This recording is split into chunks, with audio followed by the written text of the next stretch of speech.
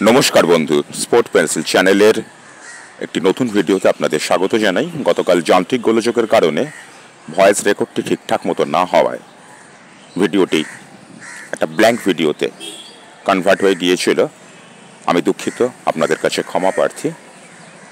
শুরু করব প্রথমে বিশ্বকাপের কিছু কথা দিয়ে। আপনারা জানেন, গতকাল বিশ্বকাপের উদ্বোধনী অনুষ্ঠান হয়েছে। একটা বর্ণাঢ্য অনুষ্ঠানের মাধ্যমে শুরু হয়ে গেল দু হাজার বাইশ কাতার বিশ্বকাপ। উদ্বোধনী ম্যাচে মুখোমুখি হয়েছিল আয়োজক দেশ কাতার, প্রতিপক্ষ ল্যাটিন আমেরিকার ইকুয়েডার। এ খেলা ইকুয়েডার দুই শূন্য গোলে পরাস্ত করল। কাতারকে শুরু করল তাদের এবারের বিশ্বকাপ অভিযান। একই সঙ্গে এবারের বিশ্বকাপের প্রথম গোলটি এলো ইকুয়েডারের ফুটবলার ভ্যালেন্সিয়ার পা থেকে।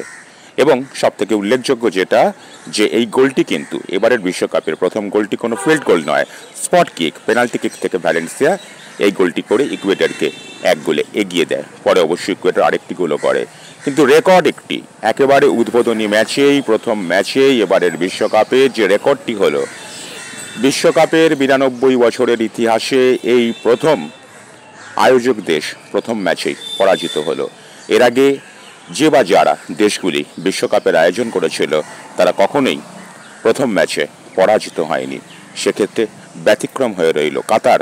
তারা হেরে গেল আয়োজক দেশ হিসাবে নিজেদের মাটি প্রথম ম্যাচে। একটি ইতিহাস তৈরি হলো, যে ইতিহাস পরিসংখ্যান হিসাবে থেকে যাবে চিরদিন।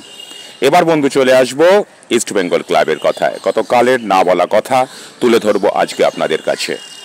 হীরামণ্ডল রিলিজ অর্ডার নিয়ে চলে এসেছে বেঙ্গালুরু এফসি থেকে। ইস্ট বেঙ্গল ক্লাব কিন্তু রীতিমতো একটু তৎপরতা দেখাচ্ছে। তারা বুঝতে পেরে গেছে যে এই দলটা নিয়ে খুব বেশি দূর এগোনো যাবে না। যত দিন যাবে পারফরমেন্সের গ্রাফ ততই হবে নিম্নগামী। ঠিক এই অবস্থাটাকে একটু উল্টে দেওয়ার জন্য, বদলে দেওয়ার জন্য ইস্ট বেঙ্গল ক্লাব কর্তৃপক্ষ তারা কিন্তু চাইছে যে আইএসএল এর প্রথম ছটা সাতটা ম্যাচ হওয়ার পর দেখা যাচ্ছে বহু ফুটবলার তাদের দলে ঠিকমতো গেম টাইম না পাওয়ার ফলে তারা কিন্তু সেই দলে থাকতে চাইছে না বা কোনো ফুটবলারকে তাদের দলও হয়তো রাখতে চাইছে না। আমরা ইতিমধ্যে দু তিনটি ফুটবলারের নাম শুনেছি। যে উল্লেখযোগ্য ফুটবলারটির নাম আমি করব, মুম্বাই সিটির ফুটবলার। তাকে নিয়ে একেবারে মরশুমের শুরুতে কিন্তু ইস্টবেঙ্গল ক্লাবে তার আশা নিয়ে একটা আলোচনা হয়েছিল। শেষ পর্যন্ত সেই ফুটবলারটিকে লোনে নেওয়ার একটা চেষ্টা ইস্টবেঙ্গল ক্লাব শুরু করেছে। আমি বন্ধু ফুটবলার একটি নাম বলব না, তার একটি কারণ আছে। তার কারণ, বলা মানে সেটি চূড়ান্ত হয়ে যাওয়া।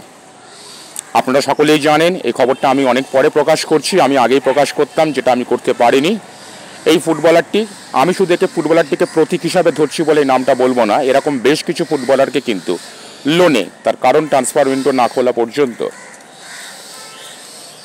চুক্তিবদ্ধ থাকা কোনো ফুটবলারকে নেওয়া যাবে না, সে নিয়মটা তো আপনারা সকলেই জানেন।